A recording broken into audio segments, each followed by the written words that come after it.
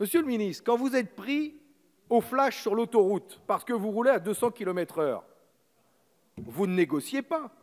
Et non seulement vous ne négociez pas, mais vous êtes sévèrement condamné et en plus on vous retire votre permis. Et c'est normal parce que c'est criminel de rouler à pareille vitesse. Eh bien, ça devrait être pareil pour la fraude fiscale.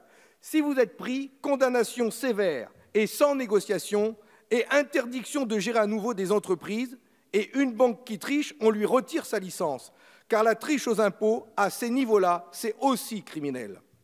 C'est pourquoi il faut donner plus de moyens à la justice, au fisc, à la police, pour traquer et condamner ces fraudeurs. Sinon, c'est trop facile. Et pour eux, c'est toujours possible de négocier, et c'est loin d'être le cas pour la petite boîte du coin. Alors nous, citoyens, élus, attendons de la République qu'elle soit à la hauteur, c'est-à-dire intraitable avec les tricheurs, sinon elle perd toute crédibilité. Telle est l'ambition de la présente proposition de résolution, celle d'afficher un ambitieux objectif, 0% de fraude fiscale et zéro impunité. Nous formulons pour cela une série de propositions très concrètes.